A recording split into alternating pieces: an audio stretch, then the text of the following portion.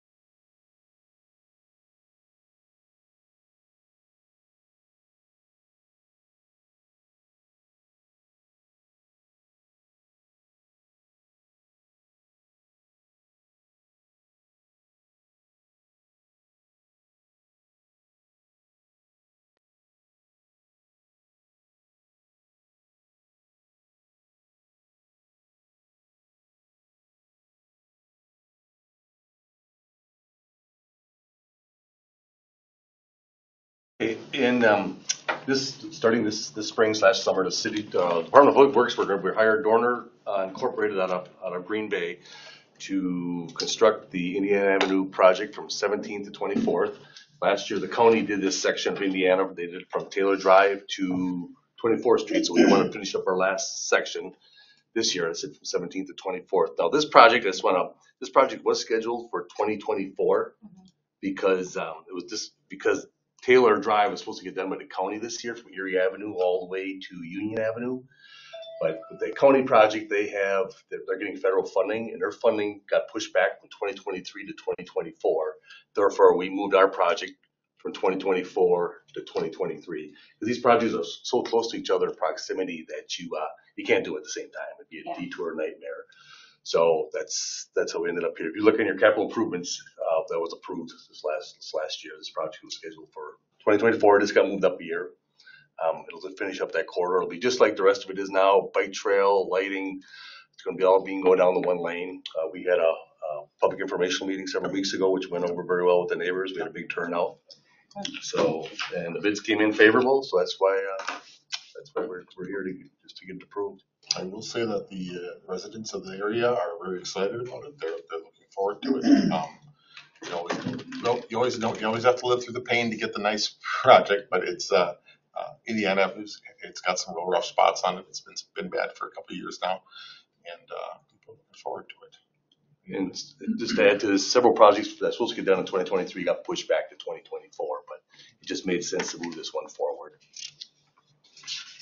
Does, how does this affect like the budget for this year, or does it not really? No, and that's why we had eliminated a couple, I shouldn't say eliminated, we just pushed back like South Eleventh Street. Okay. We're supposed to do from Indiana to Union. Okay. And also, uh, Lincoln Avenue, We're gonna do like from First Street to Sixth Street. We just moved those back to twenty twenty-four. It's Uh, okay, no. I- Is the, the projects that are being pushed back, is, is that gonna cause any issues? Do people, were the people in that, in those areas really pushing for that? Is that something that we have a lot of safety or any issues there? No, No, they're just, it's, Is what it is? yeah, it's, it's a, we have more, more work than we are able to do within our budgets and with, you know, even the, the time that we have during the construction season. So, um, it's just another unfortunate year where it gets delayed and it's a rough road and not the best condition. Um, but it's been that way for several, for some time already.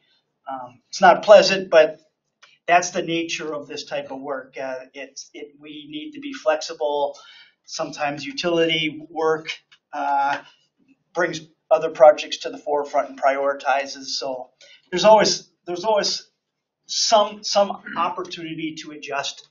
And again, um, we've, we've pretty been pretty upfront with this. I know uh, Ryan's been very communicative and his staff with the engineering department about the projects and delay.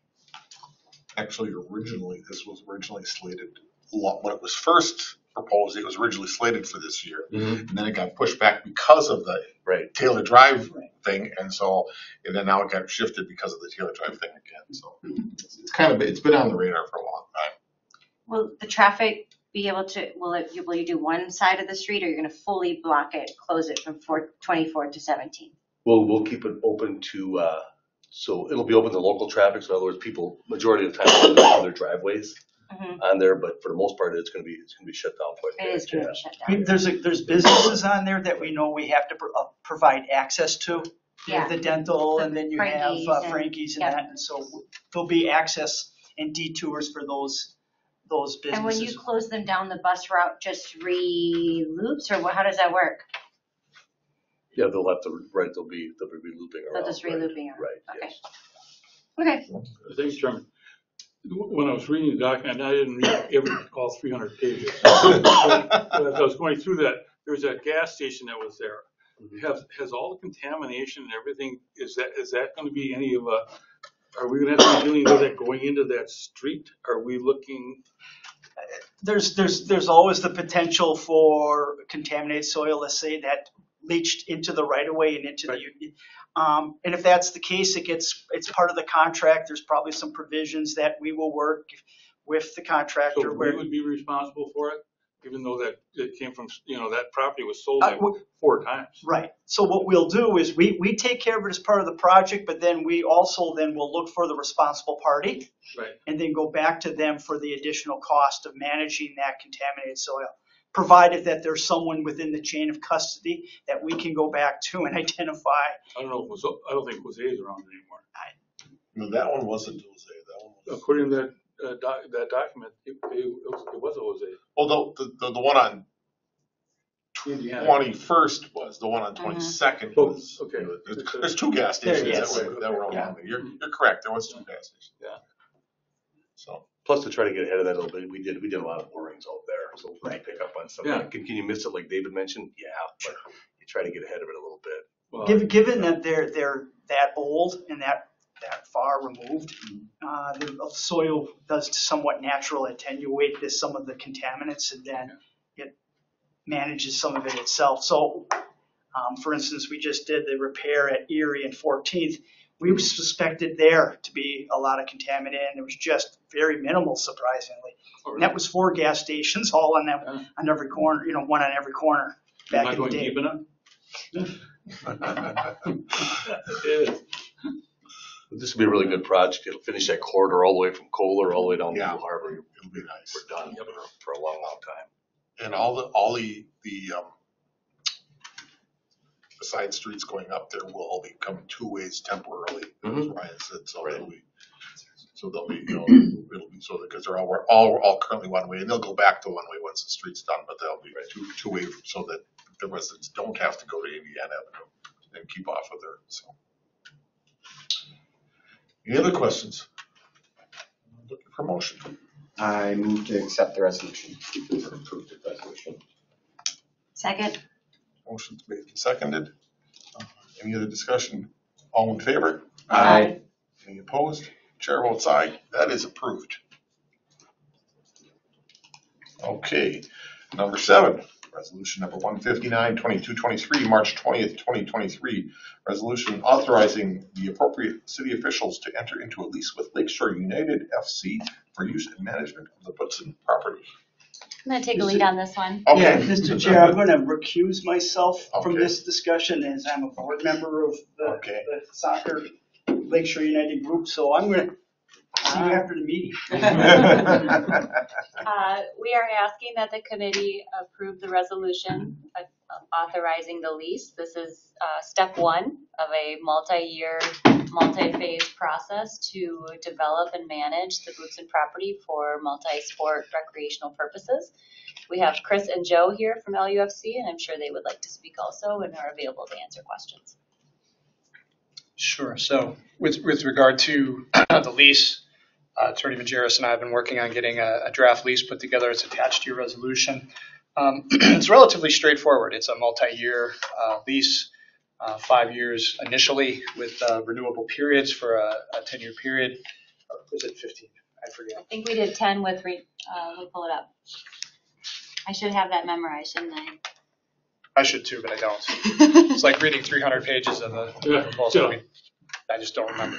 But that, that being said, it's, it's really an opportunity for us to have enough time to, to make developments, to fundraise, to do the things we need to do, uh, uh, to get the infrastructure put in, to get the structures put in, the, the athletic fields put in, and uh, various other matters as we go forward. So we, we think it's a great proposal. We're excited about it. We're glad to be tenants again.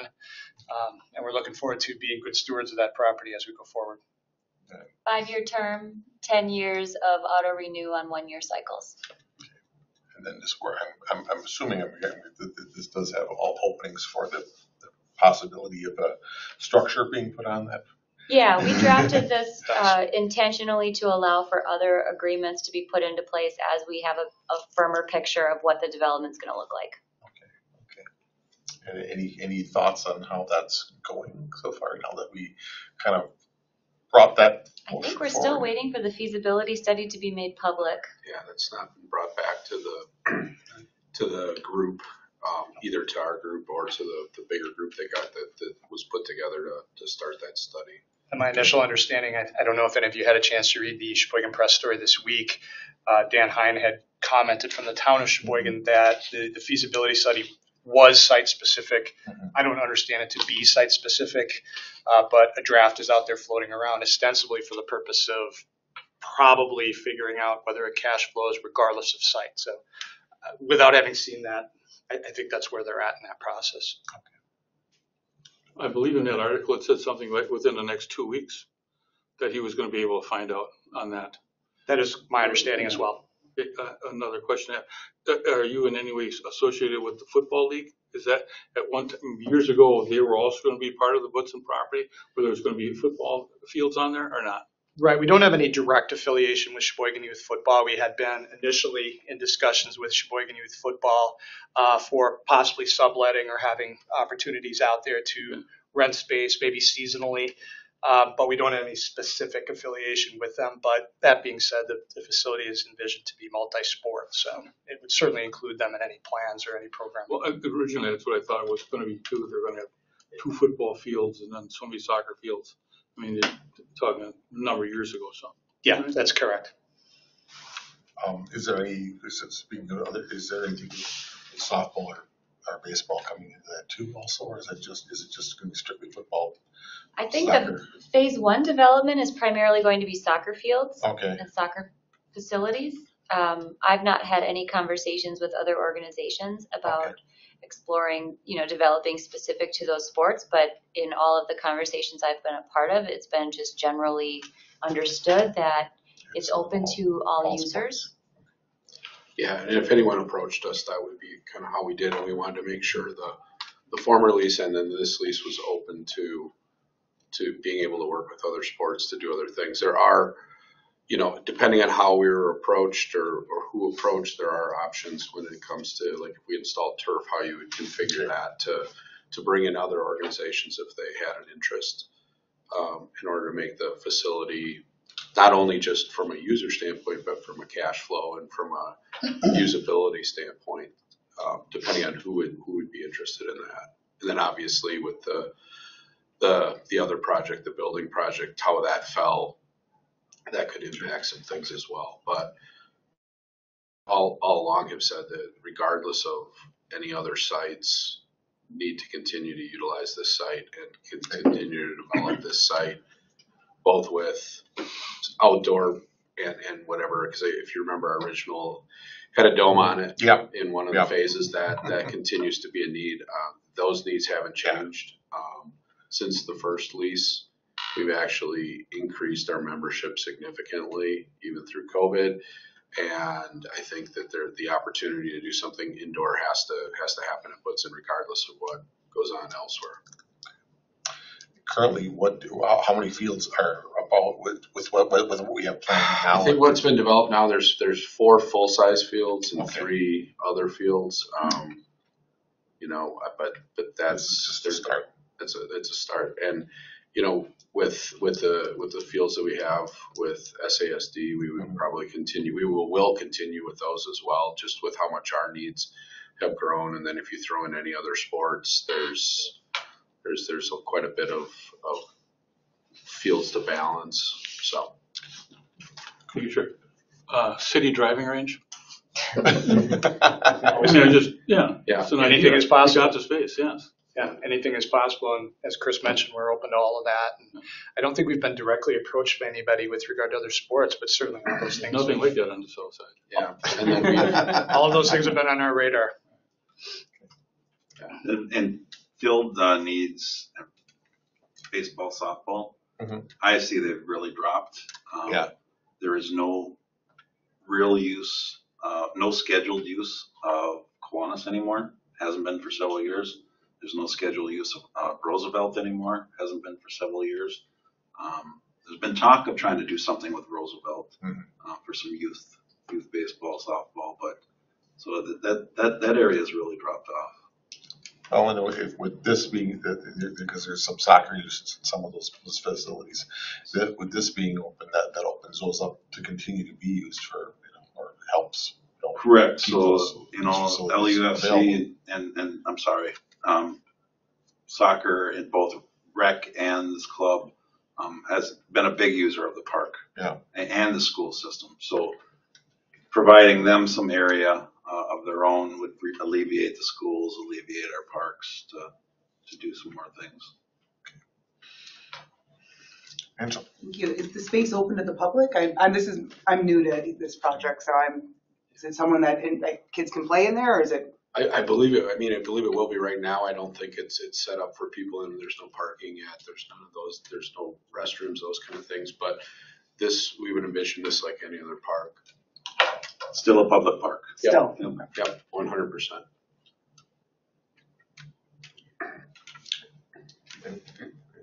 looking, looking for a motion then. I move to accept the resolution. Second. Motion made and seconded. Any other discussion? All in favor? Aye. Any opposed? Chair votes aye. That is approved. That is- that is- Okay, next meeting date, April eleventh, twenty twenty-three. So we have exhausted the agenda. I'm looking for a motion to adjourn. I move to adjourn. Second. All in favor? Aye. Any opposed? We are adjourned. So then it is a driving